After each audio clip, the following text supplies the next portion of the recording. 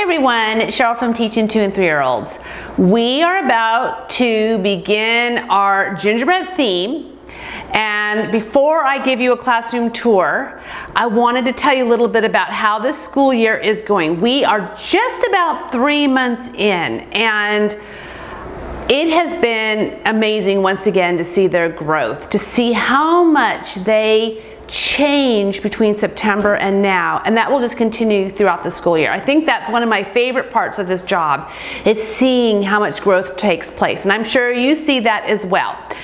So I have really enjoyed sharing my weekly videos with you, and if you're new here and you haven't yet seen them, please make sure to check them out because every week what I've been doing is taking you on a tour, showing you how our classroom is set up, and then I invite my children into the classroom and you can see how they're using their materials. And that's been new this year and I've gotten a lot of positive feedback. And make sure to go to the end of my videos because what I've started doing is sharing the printables I'm using at the very end. So you will see how I, uh, I have printables that are for circle time, I have printables that are for table activities. I have printables for the writing center, dramatic play. We like to make our printables so that they can be used in a variety of ways. So make sure to always go to the end of my videos where you will see all of the printables and I always link them in the video's descriptions. So now I'm going to go ahead and set up the classroom for the gingerbread theme. We're on Thanksgiving break right now. So when they come back, when the children return, they're gonna be so excited to see the changeover. No more fall, it's gonna be gearing up for Christmas. So let me show you how we have our classroom set up for our gingerbread man theme. On our light table, we have our candy construction. They're like Tinker Toys. It's kind of like the gingerbread house version. And then over here, we have our gingerbread bakery happening. And this is on Teachers Pay Teachers in our shop. It's got some coupons and menus and signs. And then we have different baking things out there, utensils and bowls. We have aprons. And then I have, oh, I found this cute little um, a dish towel, actually, gingerbread dish towel at Marshall's. It was a set along with this one here. So I kind of those in there as well to give it a little bit more gingerbread look. And then I'm also collecting more baking um, empty baking items. I like to use different containers and I just tape them up. I'll leave a little bit in there, but I tape it so they can't get to it. So I've been, I'll get some more of those, bring those from home. And in our block area, we have our little plush gingerbread men. And if you've seen my previous year's gingerbread theme videos, we've used these now for like six years, seven years, I don't even know now. Somebody, one of the teacher's mothers found it in a thrift shop and so they're kind of starting to lose their, their facial features, but the children absolutely love them. And then I have these paper mache houses that they can use with them as well. These I normally use at the beginning of the school year. I use them in our sensory bin for the All About Me theme, but I thought they'd be fun over here. And then we just have some loose parts in a basket so that they can build. And then in our sensory bin, we have some building going on with the cubes and we have our little gingerbread men. These are the little bendable ones. And then I have these paper mache gingerbread pieces that they can fill as well. And if I have any of the, if I still see some of these on Amazon, I will drop links in the video's description. I need to pull out more of our printables, but for right now, we have our gingerbread man and we also have him over on the easel. And then over here on our magnetic board, we switched it over and we put our felt tree. We love this tree. I'll drop a link in the video's description, but they're felt pieces with Velcro. And I've had this now for five years and it is so sturdy. I am so impressed. So we have the other, it comes with all the little ornaments and then they just stick them on the tree. You can see we have our bin with all of our circle time activities and we have our props and these are all at the end of the video, the links to all of these. So that is how we have our classroom set up for the gingerbread theme. This is the first theme that welcomes us into Christmas and we just have three weeks before our winter break. So some of this will just stay out the entire three weeks. Some of this will be changing and of course I will share next week what areas we've changed.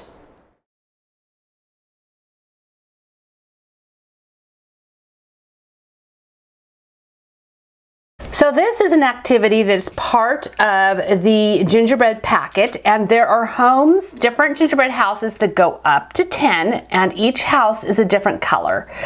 And then there are gingerbread men that match the houses and they match the numbers. So what I'm going to do is use this as a circle time activity and I'm going to lay the houses out. And for our younger children, we'll just go up to five and for our older classes, we'll go up to 10. I'm going to make enough gingerbread men so that each child gets one. So depending on how large your class is, you're going to have to make extras. And then as you go around the circle, the children come up and they find the matching gingerbread house. Have them tell you what, if they can, what number is on the house and the gingerbread man and also what color. And so they're just going to place it under the house, just like this. And then you can even make have an extra challenge where you can have more of some numbers than others. So you can say which house has the most. So you can really adapt this for different levels. But for younger children, keep it basic. Only use a few of the lower numbers so that there's not as many. And then they're just simply mostly matching it by color, but then you can tell them what number is on it as well. And if you want to have it be simpler for the younger children and you don't want to involve the numbers, in our gingerbread packet, we also have just a simple color matching activity. And there's more colors than this, but uh, for right now, for simplicity, I'm just gonna show you these four. And then whatever colors I choose to use, I make sure I have enough gingerbread men so that each child has one. And again, I am going to lay these out. I will do this in a single row when we have it in front of the children at circle time on the carpet. And then each of them will come up and they'll match their gingerbread to the same color house. So this is very similar to the numbered, except it doesn't have the number. So it's a little bit easier for younger children, or if you simply want to work on color skills, then this is the one that you will want. This is also part of the gingerbread packet and this is a cookie shape recognition activity. So it goes great with your gingerbread theme. I chose the bell, the tree, the house, and the snowflake. And you have one set that you place on the carpet this is the shape. And then you want to make sure you have enough extra of the decorated cookies so that each child has one. And they come up and they match their shape, their cookie, just like that. And this is also, um, you can do this as an individual activity at the table where you just make one set of each and then they can just place their cookies on top of the shapes. We also have a emotions activity that is part of our gingerbread packet. And what we, we have the different faces here, and these are what we lay out on the carpet at circle time. And then the children each get one of the cards that has a different facial expression. And they can come up and they can match the gingerbread man to the facial expression just like this. And again, you want to make sure you have enough so that each child gets at least one. And then for our younger children, for my two and young three-year-olds, I'm going to start this activity by just having happy and sad. So I have the happy sad faces that I'll put on the floor and then they'll I'll make enough of these so that the children will each get a happy or a sad face and they can put it on. From there, we'll build to the other emotions. For older preschoolers, in our gingerbread packet, we have these gingerbread man lacing cards. And once again, I've laminated these. Definitely, um, these, especially you want these to be durable since they're gonna be holding them. And then they just simply put the yarn through the hole. They just, they're weaving it through, lacing it. And I like to buy these pre-tipped lacing yarn pieces and you can get these on Amazon. I've seen them on at Lakeshore and you just simply, uh, it makes it a lot easier and I always like to tie it on here, like find one spot to tie it on so then it doesn't slip off and then they can go around again. This would be more suitable for older preschoolers because they have a lot of holes um, that they'd have to weave it in and out of. In our gingerbread packet, we also have these decorate a cookie sheets and there's different shapes. I like to use these at the writing table and you can use them with markers, watercolors, uh, crayons, colored pencils, duodots, whatever you like to use at the writing table. And you can also use these at the art table. Actually, that would probably be a better place for the watercolors. I also use these as templates. So I will cut them apart and um, either I will trace them, um, I can use this as a shape to trace onto construction paper or we might, I just might cut them out and actually use the same paper that they were printed on and we can use them for some type of art activity as well. Also in our gingerbread packet are signs and menus so that you can add a gingerbread bakery to your dramatic play area. We also have a gingerbread circle time props packet that comes with the characters in the traditional gingerbread man story. And what I like to do is laminate them and I put a magnetic dot on the back. This is just self-adhesive, so it's so easy. And I put these on a magnetic board because um, I, that's how I like to do it for circle time. The children really can see them. And I love the size of these because they really grab the children's attention. They're nice and large. And you can also put Velcro on the back and put them on a felt board and then what I also do, oh yes, and there's also, couldn't forget the little gingerbread man who's running. He's in there too. And then I took the basic gingerbread man and I laminated and made enough copies of him so that each of the children can hold one while we tell the story. And then this printable is hot off the press. This is part of our brand new packet on Teachers Pay Teachers. It's called Five Little Friends Jumping on a Bed. And it has different characters um, that jump on the bed and these are from different they're seasonal or different holidays like there's the hearts and there's the bunnies and um, there's snowmen, so you change it out. The, the bed is different too. It's decorated depending on the season. And th there might be a glare that's being picked up on this because I've laminated it. So it's hard for me to get this so that you can see it without that glare. But they are, I laminated the gingerbread men and they are attached with Velcro.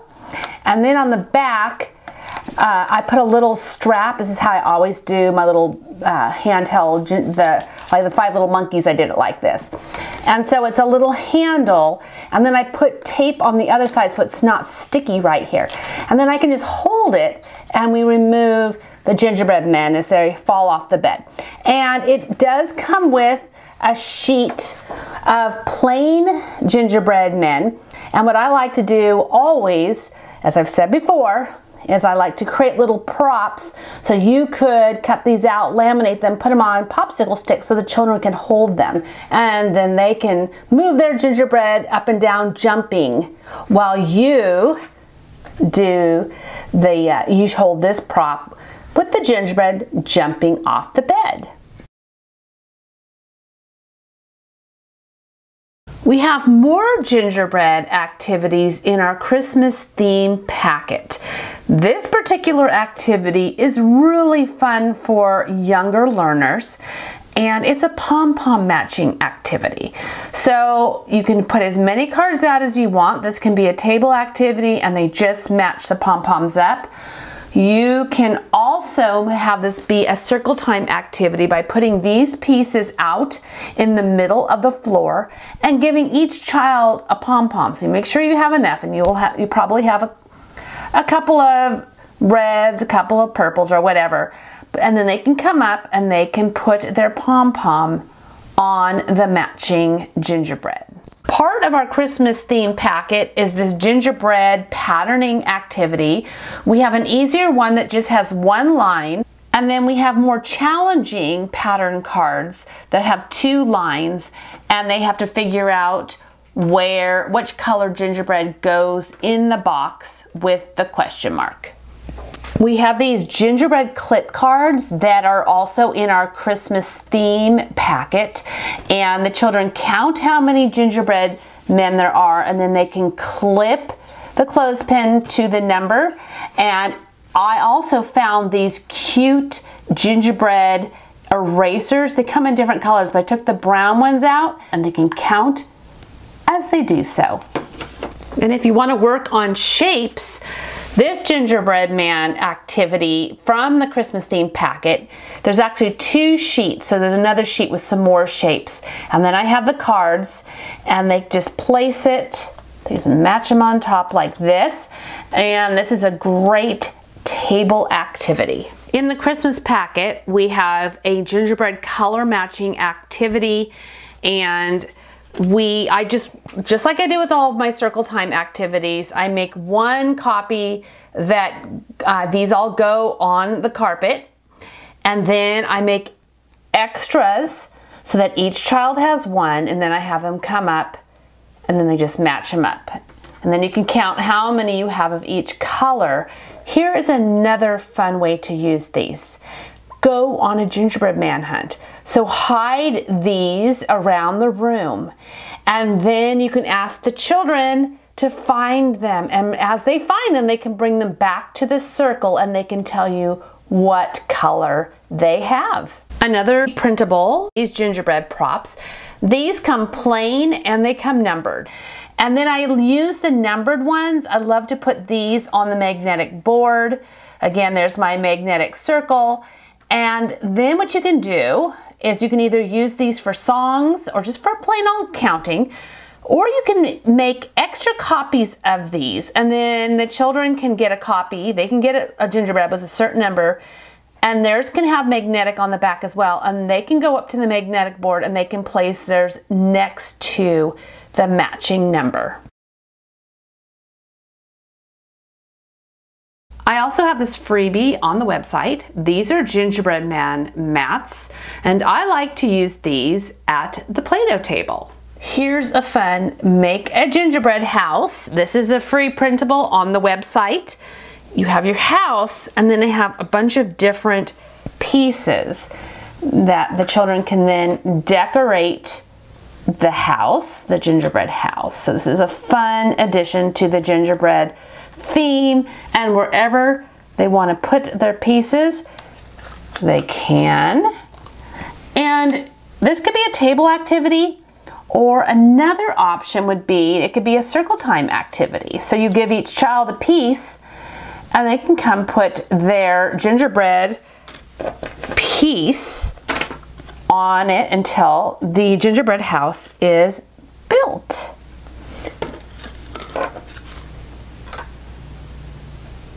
If you're looking for a gingerbread man template or a coloring sheet or a painting sheet, I have this free printable that is on my website. It's actually in a collection with some other free Christmas template color sheets. So all of these links are in the video's description. Make sure to be following Teaching 2 and 3 year olds on YouTube and click that bell icon so that every time I publish a new video, you will be notified. Thanks for watching.